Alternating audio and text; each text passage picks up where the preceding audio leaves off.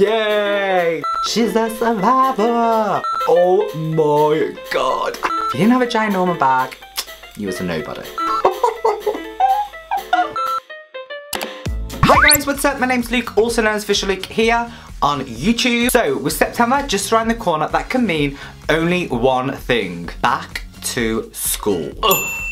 I used to hate them three words so much as a child, and even now, as an adult, they still make me feel slightly sick. Not gonna lie. So I thought it'd be funny to put a spin on it and not do like a DIY or a haul or anything like that because let's be honest, I'm 31 years old, I am not going to school, so be a bit of a lie if I was to do them things. I thought I'd redo a video that I did, I think two years ago now. I did a back to school quiz from BuzzFeed and you guys seem to like it so I thought you know what let's see if there's a new quiz we can do it this year and just have a bit of fun about going back to school because it can be pretty depressing time. So without further ado, let's get into this week's video.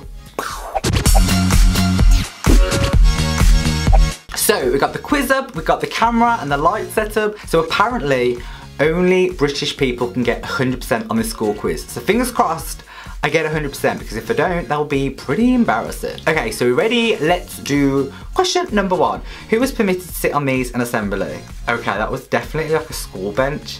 And you would sit in an assembly at the back of the hall and like they'd have benches. So only year six could sit there, which was like the top year. Correct. Only year six were allowed to sit on these and lord over everyone else. It's so funny.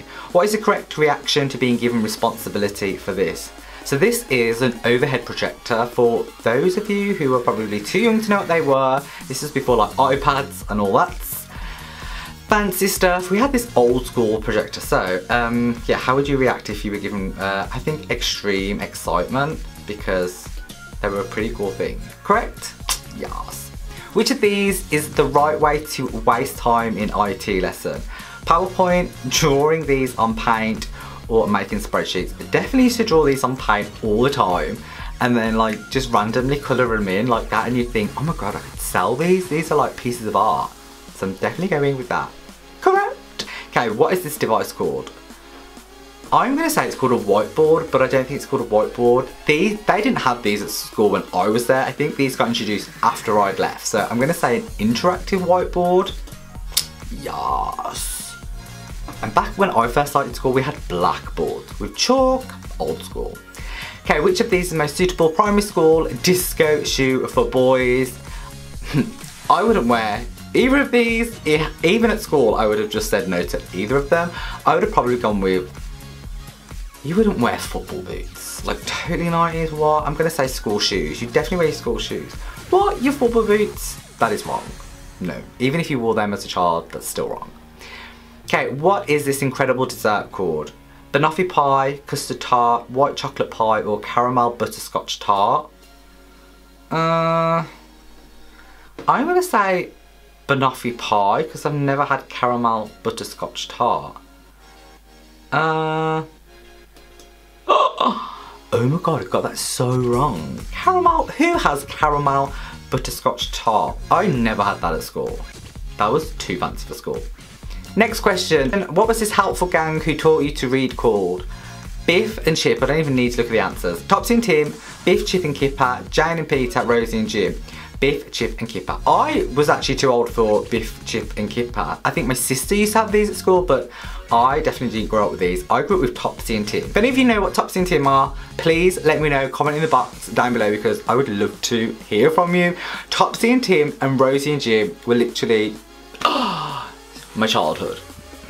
I'm gonna go with, yeah, Biff. I know that's correct. What did seeing these things out in the school hall mean? Uh, P lesson? Yes, it'd be the P lesson. So this used to be a horse. P horse? I can't remember. I think it's P horse. I'm gonna say best P lesson. I'd probably say the worst because I hated P at school, but I'm just gonna say the best. The best. Next question, complete the sentence. Divorced, beheaded, died. Divorced, beheaded, survived. Right, let me survived. Yay! For those of you who know, you know, that was like the rhyme used to say for King Henry VIII and his many wives. She's a survivor! Oh my god! what part of the dragon did the children travel through? Okay, this program was called Through the Dragon's Eye. It looks so creepy now, but I remember back at school, I used to love this program. Oh my god, Through the Dragon's Eye. Yep, correct. Look closely through the dragon's eye and fly. Next question, what were these most commonly used for? Paper towels, so treating any injury you could ever experience something else. I'd probably say that because if you like grazed your leg or bumped your head or you felt sick, like you were always given wet paper towels to like put on wherever you hurt, like your arm, your head, your stomach, like your knee. So they kind of like were just like magic papers. I'm gonna say that. Correct. Okay, next question. What would you find in this book? Anthology was full of poems. So those of you who did GCSEs, yeah, poems, poetry, okay. Poetry, book extract, non-fictional writing, grammar, advice. Yes, definitely poetry.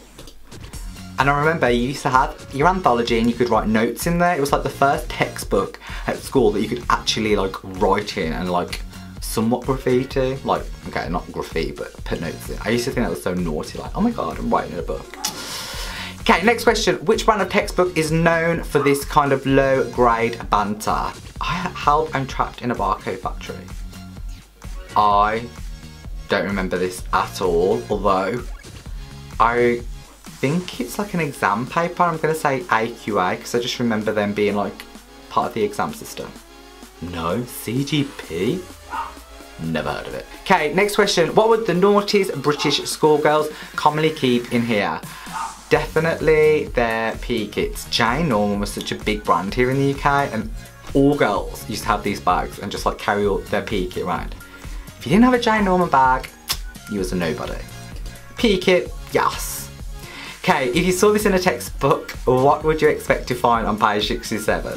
So, Oh my god. So these, I think everybody, I mean, let me know if they did them at your school, but used to kind of like go for your textbook and it'd be like, turn to page 67, you go 67, and then it might say something else. Like, yeah, that's one of the questions. Turn answers, turn to page 39.